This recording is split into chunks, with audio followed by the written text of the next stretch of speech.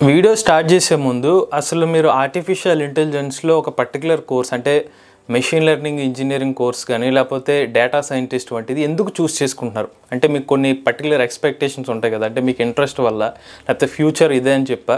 అది మాత్రం కప్ప కంపల్సరీగా మీరు కామెంట్ రూపంలో తెలుపండి. ఎందుకంటే మీ కామెంట్ బేస్ చేసుకునే మీకున్న డౌట్స్ కానీ దానికి సంబంధించిన వీడియోస్ చేయడానికే ప్రయత్నిస్తాం అప్కమింగ్ వీడియోస్లో. ఇక ఈరోజు మెయిన్ టాపిక్ ఏంటంటే ఆర్టిఫిషియల్ ఇంటెలిజెన్స్ కోర్స్ సంబంధించిన కొన్ని నిజాలు అయితే మాట్లాడుకుందాం.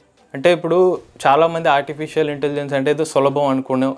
లేకపోతే పలానా కోర్సు ఏ ఎంఎల్ కానీ లేకపోతే ఏ డిఎస్ ఇలా కొన్ని కోర్సులు చెప్పి ఇందులో ఏది బెస్ట్ నాకు ఈ కోర్సు వచ్చిందని అడుగుతున్నారు. కానీ వాస్తవానికి దీని దీని వెనకాల ఉన్న డీప్ అనలైజేషన్ అనేది ఎవరు చెప్పట్లేదు రియాలిటీ చెప్పట్లేదు. దాని అది చెప్పే ప్రయత్నం అనేది ఈ వీడియోలో అయితే చేయడం జరుగుతుంది.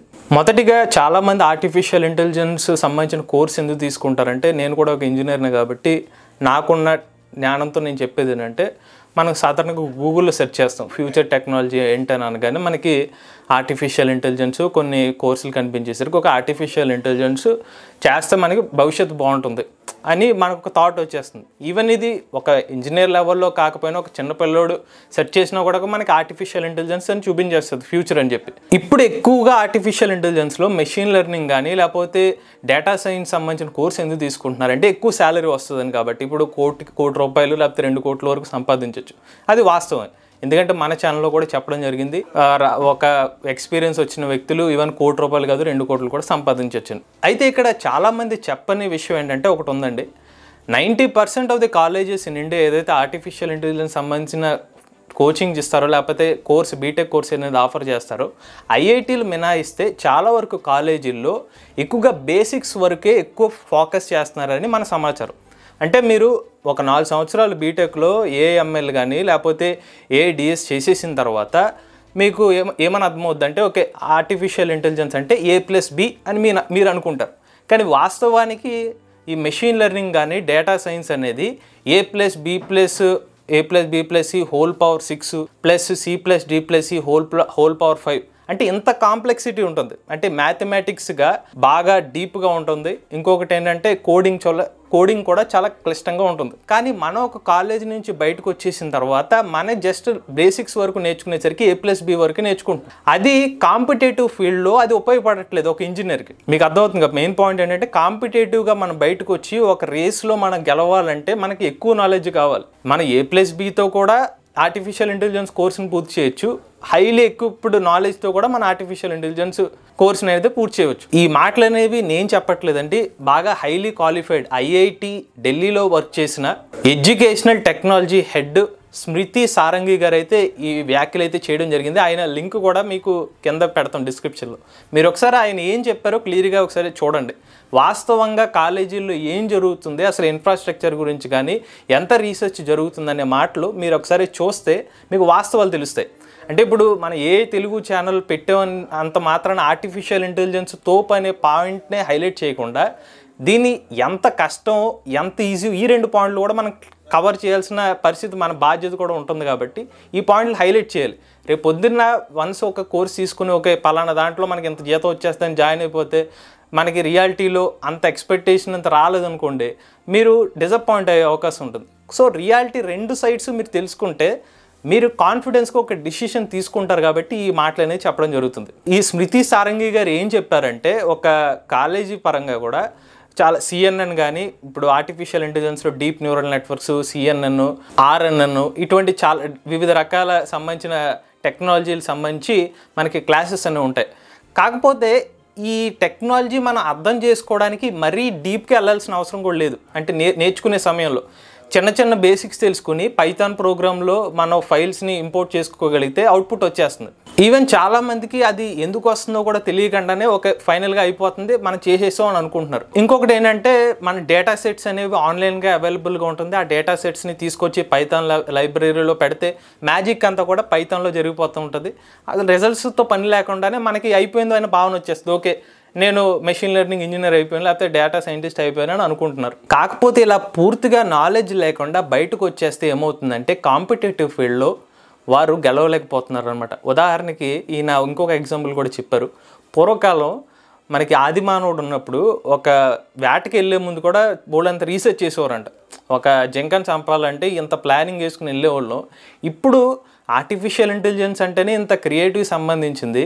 అదేమీ కాకుండా ఒక నాలుగైదు ప్రోగ్రాములు ఆల్రెడీ ఒక చూసుకుని దాన్ని పైథాన్ ప్రోగ్రాంలో ఇంపోర్ట్ చేసేసడం వల్ల దానికి ఇనీషియల్గా ఏదైతే వాళ్ళు అనుకున్నది రీ అవుట్పుట్ ఫైనల్గా వచ్చేసరికి వాళ్ళు దక్కట్లేదని చెప్పి ఈయన కామెంట్ చేయడం జరిగింది. ఇక ఇప్పుడు మెయిన్ పాయింట్ ఏంటంటే ఆర్టిఫిషియల్ ఇంటెలిజెన్స్ సంబంధించిన కోర్సులు చేసిన వ్యక్తులు ఎవరైతే ఉంటారో నాలుగు సంవత్సరాలు బీటెక్ వాళ్ళు సరిగ్గా నాలెడ్జ్ గెయిన్ చేయకపోవడం వల్ల ఇండస్ట్రీలో జరుగుతున్న విషయాలు ఇది గ్రౌండ్ రియాలిటీలో విషయాలు ఏంటంటే మన భారతదేశంలో స్టార్టప్ కంపెనీలు దాదాపుగా రెండు వేలకు పైగా ఆర్టిఫిషియల్ ఇంటెలిజెన్స్ సంబంధించిన స్టార్టప్ కంపెనీలు ఉన్నాయి.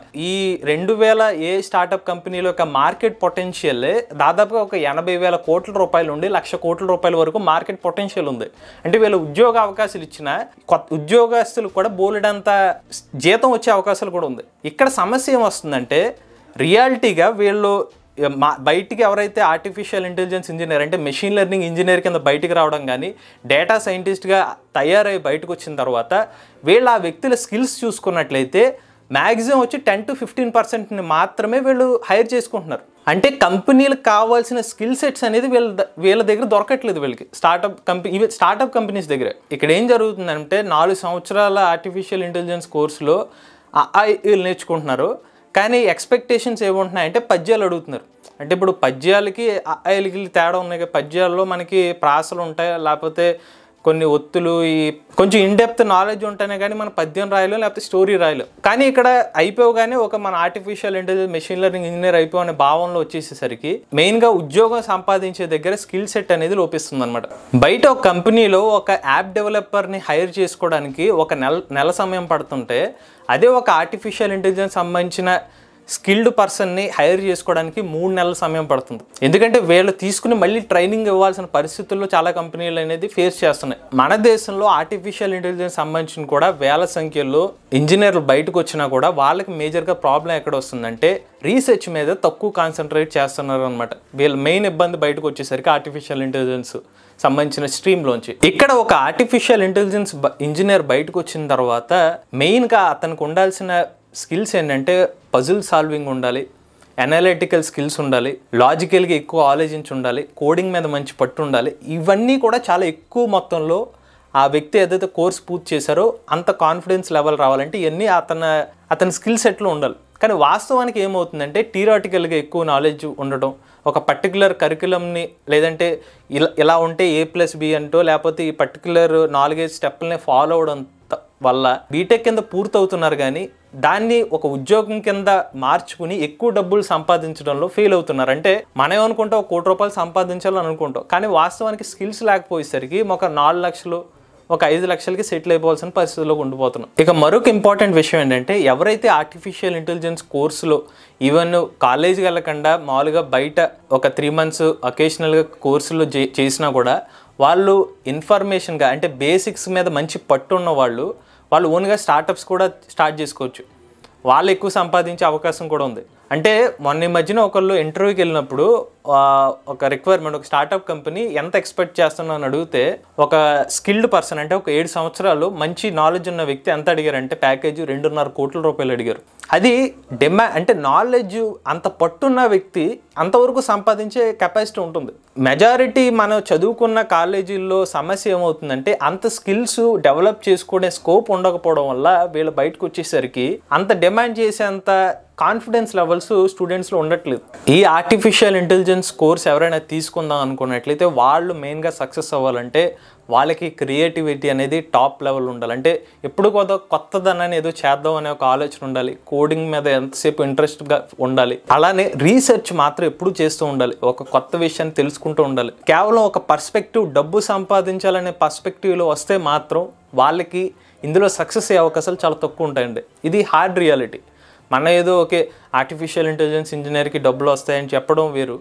ఎలా చేస్తే వస్తాయి అనేది వేరు. ఇది కష్టమైన పాత్ అనేది ముందుగానే ఒక చెప్తే వాళ్ళు మెంటల్గా ప్రిపేర్ అవుతారు. ఓకే నాకు ఎంత క్రియేటివిటీ లెవెల్స్ ఉందా? నేను ఎంత కష్టపడగలుగుతాను? పేషెన్సీ ఉంటుందా? ఇవన్నిటికి సిద్ధపడితే వాళ్ళు ఖచ్చితంగా సక్సెస్ అవుతారు. కానీ మనలో చాలా మందికి ఒక మెంటాలిటీ ఏంటంటే రాత్రి రాత్రి చదివేస్తే అయిపోద్దని అనుకుంటారు.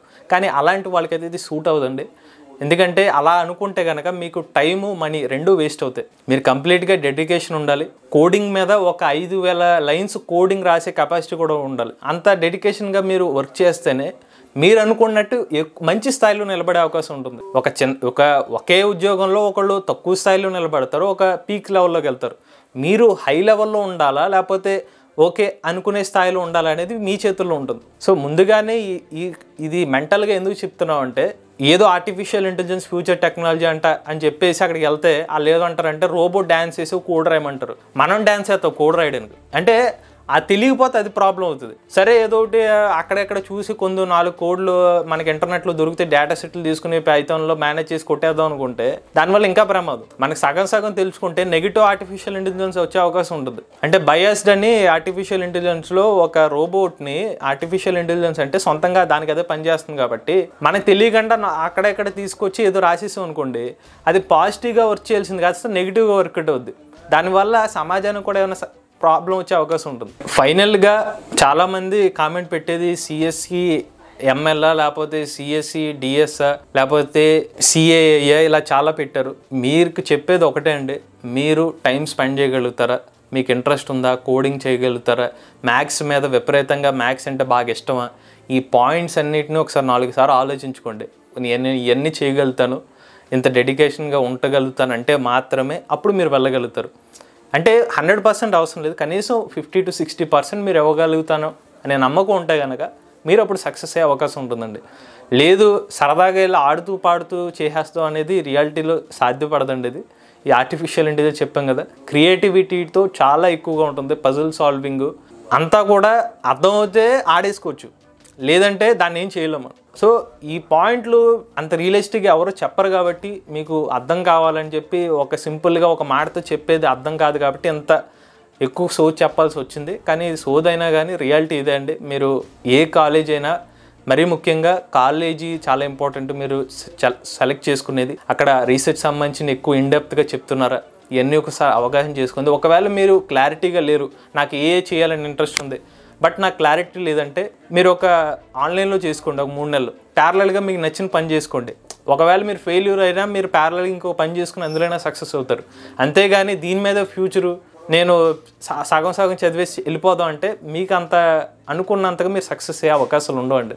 ఇది హార్డ్ రియాలిటీ ఆర్టిఫిషియల్ ఇంటెలిజెన్స్లో ఆ పాయింట్ మీకు చెప్దామని చెప్పి ఇంత టైం అనేది తీసుకున్నాం. మీకు ఇంకేమైనా డౌట్స్ ఉంటే ఖచ్చితంగా అడగండి. రే రానున్న వీడియోస్లో మన ఛానల్కి ఒక ఎక్స్పర్ట్ని కూడా తీసుకొచ్చి ప్లాన్ చేద్దాం. అంటే ఆల్రెడీ ఈ కోర్సులు చెప్పే వ్యక్తులు కానీ అకాడమిక్ సంబంధించిన వ్యక్తులు కానీ వాళ్ళు చెప్తే మీకు ఇంకా కాన్ఫిడెన్స్ వస్తుందని మా అభిప్రాయం. ఈ వీడియో కానీ మీకు నచ్చినట్లయితే ఏ తెలుగు ఛానల్ని సబ్స్క్రైబ్ చేసుకోండి. మరిన్ని ఫ్యాక్స్ వీడియోల కోసం MVS facts Telugu channel biography వీడియోల కోసం MVS facts Telugu two point ఛానల్ని సబ్స్క్రైబ్ చేసుకోండి.